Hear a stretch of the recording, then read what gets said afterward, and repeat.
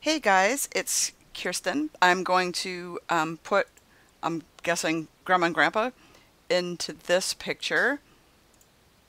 Okay. All right, I'm going to do my best. And I haven't tried it yet, so we'll see. All right, so the first thing we're going to do is put the kids on a different layer. So I'm going to get the, uh, what's it called? Object selection tool. And I'm just going to tell it to select the kids. I only really need their heads. So we don't need to be like too, too crazy. That was a hot mess. All right, so quick selection tool, put it on the plus sign. And I'm gonna just get a little bit, actually the only kids we really need are the these two in the center, so that's probably fine. We'll refine edge that in a second. And then is it the shift that makes it negative? No, is it the alt that makes it negative? Yes, hold down the alt key to take away, add, take away, add, take away, add.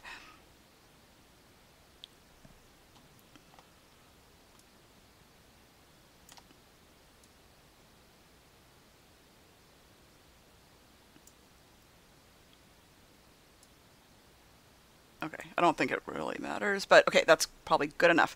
And then we're going to hit select and mask.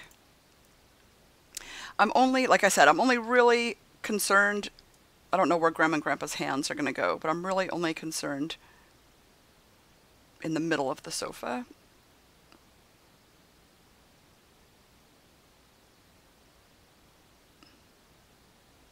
Okay, that's probably totally fine. I leave these at the default settings and make sure your output to a new layer with layer mask and then hit OK. Turn the background layer on. So now the kids are on a separate layer. Okay, we're going to do the same thing with Grandma and Grandpa. We're going to do object selection.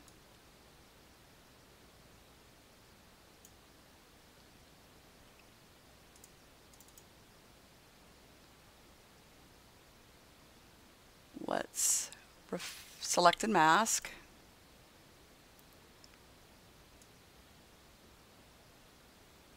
And again, if this was my client, I'd be like going a little slower. I'm just kind of quickly showing how you add people in. Okay, we're going to just select her hair and then new layer, layer mask, blah, blah, blah. Okay, perfect we can fix his little his hair and everything later. Okay, so now we're going to get the move tool, or you can control C, control V, copy and paste. I like just dragging and dropping, and I think we're going to go over here. Yep. Let's zoom out a little bit. That looks great. Okay, so let's smallen that up where it looks a little bit realistic.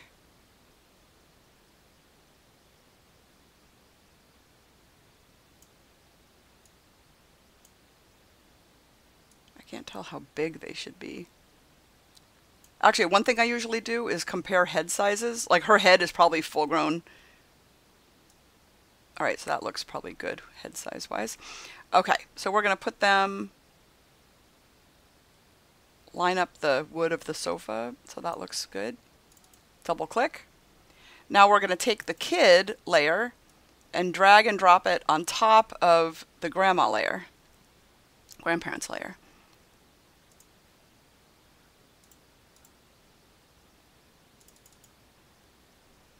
Okay, I can see a little bit of, you know, boo-boo and caca and whatnot. So I think that would be on the kid layer. So let's put the, select on the kid layer mask. And let's get a soft brush. Um, bracket key to make it smaller. Oh, opacity at 100. There we go. And we're just going to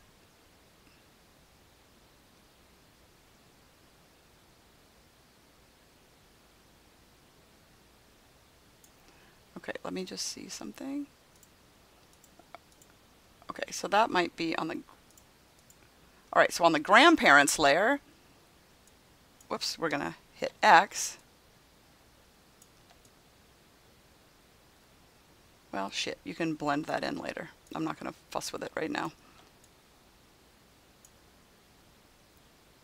Let's go back on the kid layer. And this is only because I was a little bit sloppy with the selection. So you can, you know, deal with it later. Grandpa's.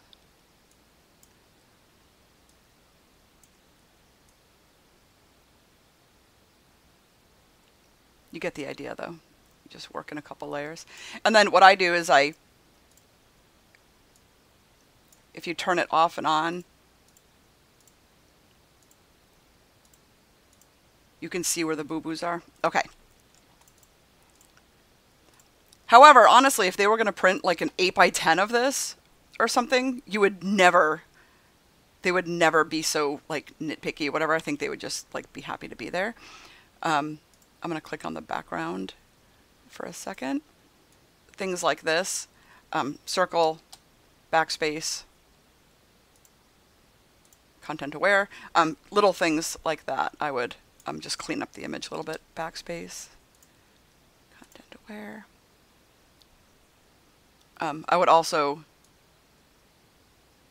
I don't know if content aware will do it, because it's, are you kidding me? No one ever calls my landline, ever. So looks like I'm going to go bye-bye.